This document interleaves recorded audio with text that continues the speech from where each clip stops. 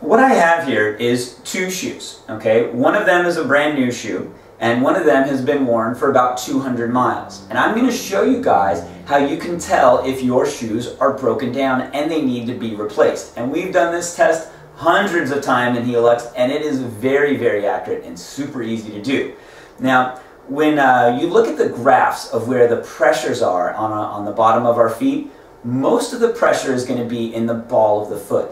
And the nice thing about this area is whether you're a heel striker or a forefoot striker, everybody's going to put pressure on the ball of the foot and break down the cushioning there.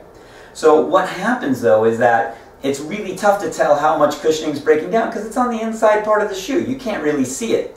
So we came up with a touch test or push test that's going to make it really easy for you to figure out if your shoes need to be replaced because the cushioning is getting old.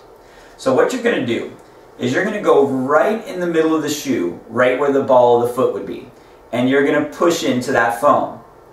Now, if that foam is starting to feel soft, okay, it's going to be time to replace it.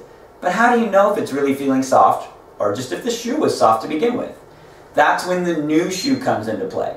So what I like people to do is go ahead and push down on that same area on the new shoe and compare it to what they feel on the used shoe. Now, generally, we like to um, measure the shoes a lot, frankly, and we see that when the shoe loses about 20% of its cushioning, that's when you can start to feel that difference with your own hands, comparing the new shoe to a used shoe.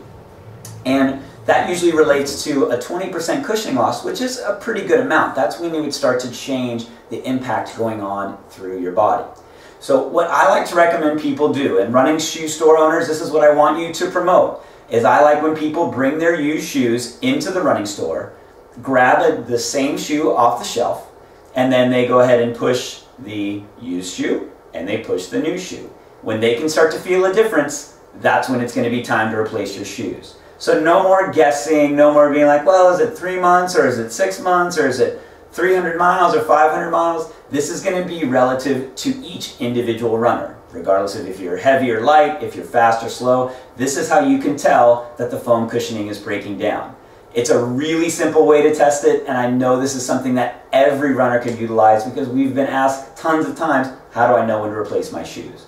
So use this information, go visit your running store, try and compare your used shoes to your new shoes, and if you guys have any questions about this, leave them in the comments below, or go ahead and track me down over on heeluxe.com. Again, we're going to have a link right below in the comment section here. Again, my name is Dr. Jeffrey Allen Gray from Heeluxe. Thank you so much for your time and attention. Enjoy all this information, and I hope to see more of you guys soon.